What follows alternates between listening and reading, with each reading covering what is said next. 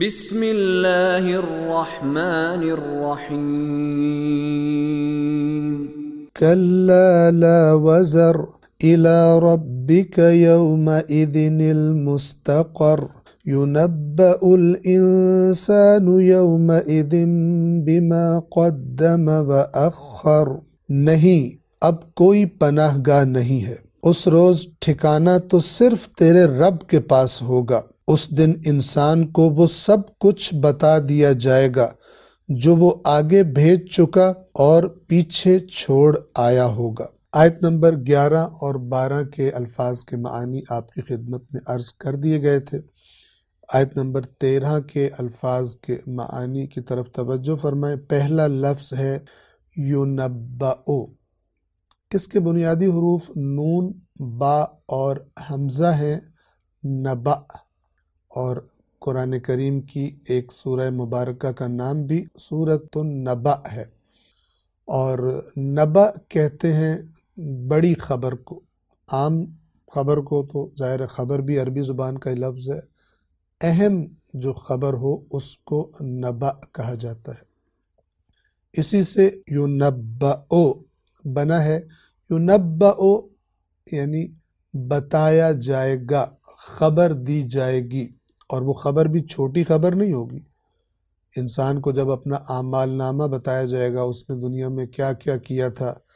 جب زندہ تھا تو کیا کیا تھا؟ اور جب مر گیا تو پیچھے کیا چھوڑ کر آیا تھا؟ وہ انسان کے لیے اتنی بڑی خبریں ہوں گی کہ شاید اس سے بڑی خبریں اس کے لیے اور کوئی بھی پیش نہ آئی ہو۔ اس لیے کہ انہی پر دار و مدار ہوگا کہ اس نے جنت کمائی ہے یا جہنم کو اپنا ٹھکانہ بنایا ہے اپنے اعمال کے نتیجے میں۔ یونبعو بتایا جائے گا، خبر دی جائے گی الانسانو انسان کو۔ یوم اذن اس دن یعنی قیامت کے دن۔ بما، دو حصوں پر مشتمل ہے۔ با کے بارے میں با کا ترجمہ ہم اس طرح کریں گے کے بارے میں اور ما جو قدم اور و اخرا جو اس نے آگے بھیجا تھا اور جو وہ پیچھے چھوڑ آیا تھا۔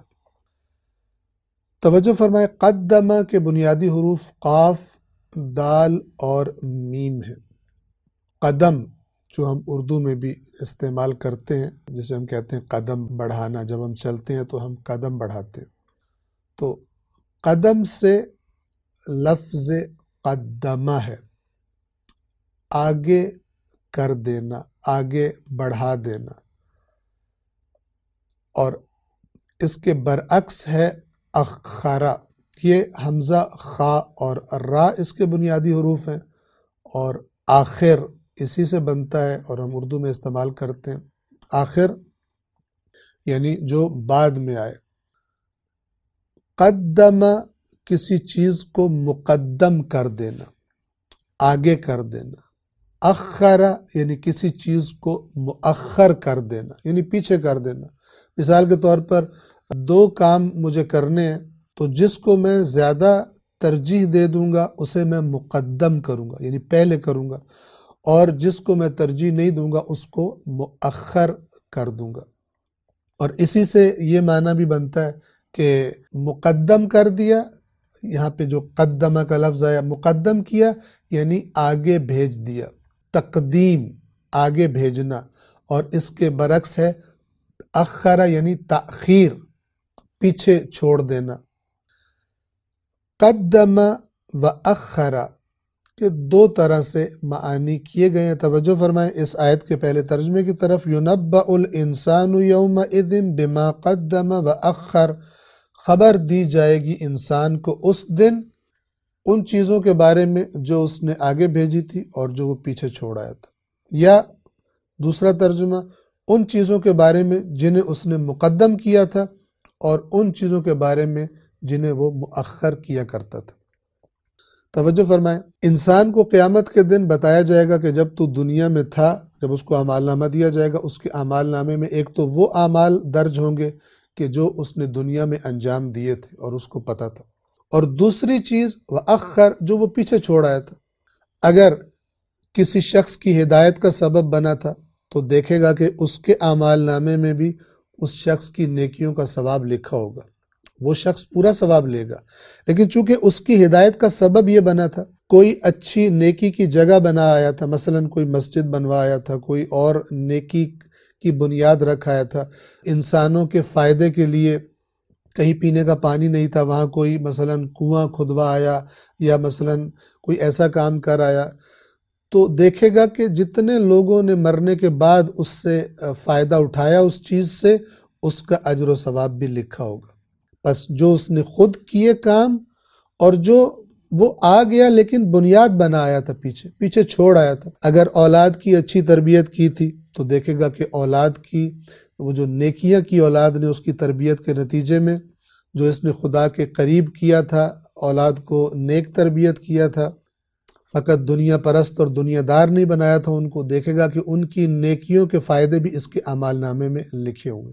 اسی طرح اگر اولاد کو دنیا تو بہت ان کو دنیا کے لیے تو بہت تیار کیا، بڑا پڑھایا، لکھایا، دنیا کی تمام سہولتیں، آرام، آسائشیں ان کو فراہم کی، لیکن خدا سے دور کر دیا، خدا کی طرف توجہ، نہ خود تھی توجہ خدا کی طرف، نہ اپنی اولاد کو، خود بھی دنیا دار تھا، اولاد کو بھی فقط دنیا کمانا سکھا کر آیا اور اسی کے لیے تربیت کی۔